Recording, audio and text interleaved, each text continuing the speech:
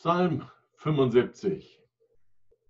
Dieser Psalm wurde wieder vom Asaf gewonnen. Und die Töne hat er von diesem Lied entnommen, wo es darum geht, dass wir nicht ganz kaputt sind. Gott, wir danken dir hier, du bist Vater, wir Kind.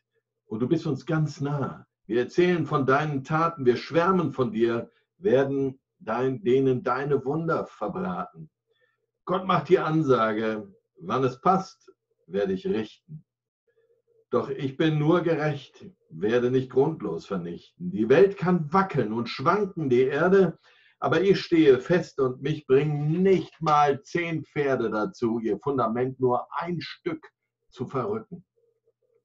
Darum sage ich zu den Horst, den Prolls, den Verrückten, jetzt haltet die Fresse. Alle, die gegen mich sind, bläht euch nicht fett auf, sonst komme ich wie ein Sturmwind.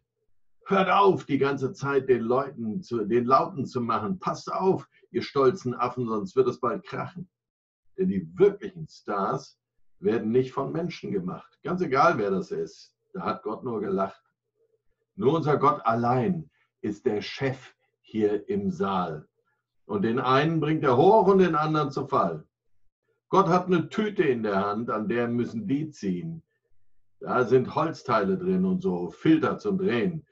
Von dem bitteren Zeug kriegst du nur voll das Kotzen und es schmeckt einfach eklig, kannst du nur noch ausrotzen. Er schenkt aus und lädt ein, jeder trinkt seinen Wein und wer Gott immer disst, wird bald am Ende sein. Ja, auch der muss den bittersten Tropfen dann trinken. Aber ich will in Liedern Gottes Liebe verkünden. Gott wird die Gewalt aller Spinner beenden, doch die Treuen wird er am Ende beschenken. Mit Einfluss und Macht, mit Gerechtigkeit, das bekommt nur der, wer sich über Gott freut. Halleluja.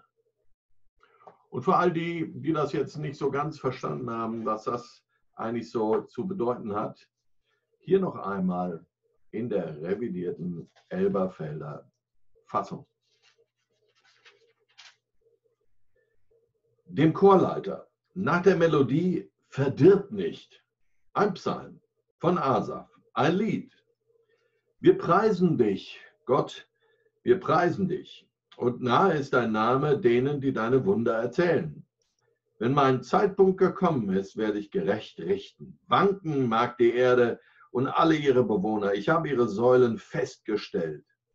Ich sprach zu den Tobenden, tobt nicht, und zu den Gottlosen, erhebt nicht das Horn.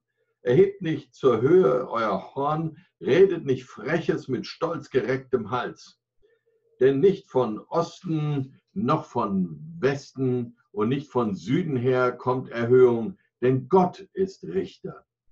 Diesen erniedrigt er und jenen erhöht er. Denn ein Becher ist in der Hand und des Herrn schäumender Wein voll Würze und er schenkt daraus ein.